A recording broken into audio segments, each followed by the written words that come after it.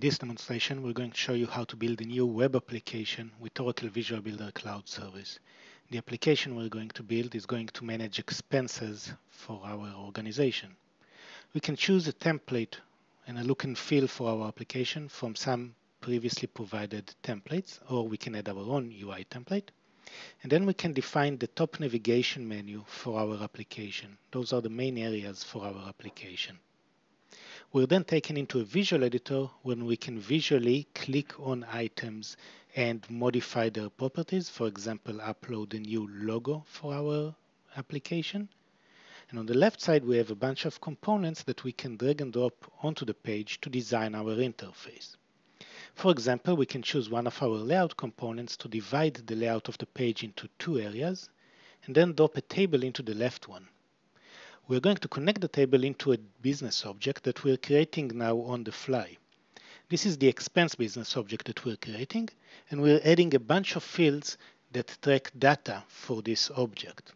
So for example, we can add a name and a cost, and each field can have a different data type. Let's add one more field to track whether the expense requires an approval. This is going to be a Boolean field. Now that our fields are defined, we can define which operation we want to provide on the object and which operations we want to have on the table in the user interface. For example, filtering and sorting. Our application is now ready to run. Click on the Run button, allow you to create new records and populate the business object. We created a full CRUD application that allows you to look at the data, query it, create new records, edit existing records like we're doing right now, and even delete records. All of this from just dropping one table on the page. Let's go back into the edit mode and modify our user interface. For example, we can add a set of charts into our application. In this case, we're adding a donut chart and connecting it to the same business object and choosing which values we want to show in the chart. We can further customize the chart using the properties on the right side.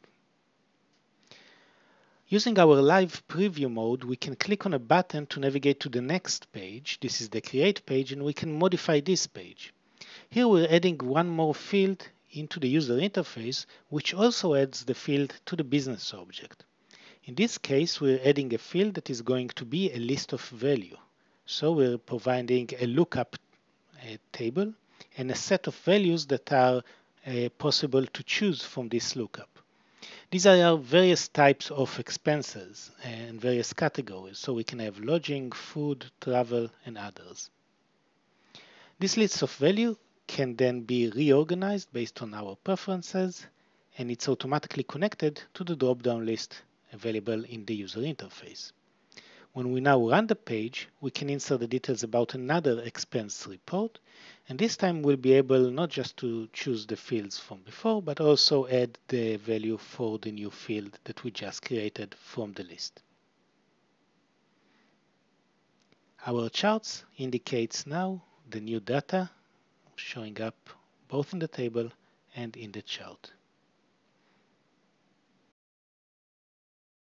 We worked with the visual editor, now let's work with the business data editor. Over here we can see the business objects we created and we can modify them. We can modify fields and we can also add business logic to our application. For example, we're going to add a specific check and a specific value set for expenses that are expensive. We define a trigger to happen in a specific event, in this case when we insert a new expense, and then we're going to edit this trigger. We have a visual flow where we can define the flow of our logic. The first step that we're going to do is going to be a condition. This condition is going to check if the expense is expensive. And over here, we can use a simple interface to define our conditions for when the next step is going to happen. Then we're going to define what is going to happen when the expense is indeed expensive. And in this case, what we want to do is require an approval. So we're going to update the record and we're going to set the value of a specific field. As you can see, those types of business logic can be done in a declarative way using Visual Builder Cloud Service. Let's return to the page navigator and run our application now. We're going to add another expense and this time we're going to make sure that the expense is actually one that conforms to the expensive scenario just to make sure that our business logic works. Notice that we left the approval field empty and when we save the data and go back to the list, we are going to see a checkbox checkmark next to the specific record we just added. So our business logic works. Visual Builder Cloud Service has built-in responsive behavior. Over here you can see how the user interface is going to behave on a small mobile device. We can fine-tune this behavior. For example, in this case, we're going to change the table to display as a list when we're in a phone on portrait mode. Now you can see how the user interface looks on a small device or on a bigger screen. User interface adjust accordingly.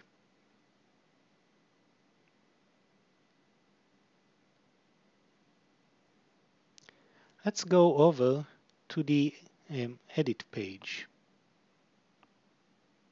Okay. Over here we're going to add a piece of information that is coming from an external system. To do this, we're going to add a new service from our service catalog as a source of data for our application.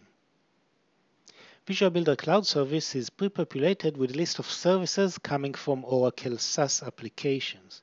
In addition, you can add your own service. We picked up a service from the catalog, and then we're going to pick a specific object from the returned objects that this service provide.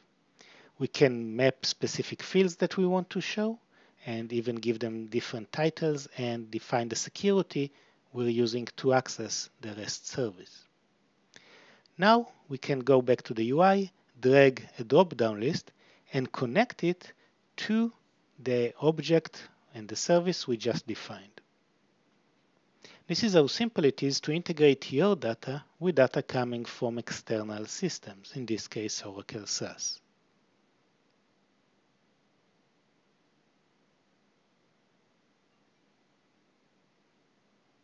Let's run our application now and go and edit one of the records. As you can see, now we can choose a value for this list coming from Oracle SaaS. Once you're happy with the results of your development, you can take your application through the lifecycle, including a testing environment with the stage step and the real production environment through the publish step. This provides access to your application for your users. This is how simple it is to develop an application with Visual Builder Cloud Service.